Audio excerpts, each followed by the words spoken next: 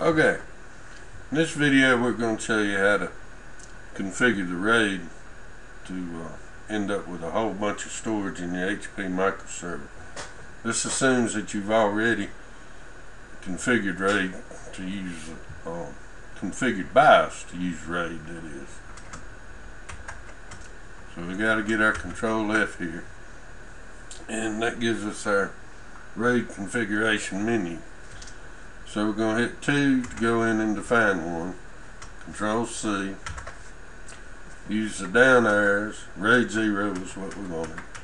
Come down to our new drives. Spacebar and change them to yes. So now we have our three drives set for RAID 0. Control Y to save it. Uh, we're not going to give it a name. Control Y to erase our MBR and then any key to get maximum capacity. So there we have our great big RAID array. We just can escape out and it will reboot. And then the other video, uh, part two, step two, whatever, I'll show you how to actually use this space in Windows Storage Server.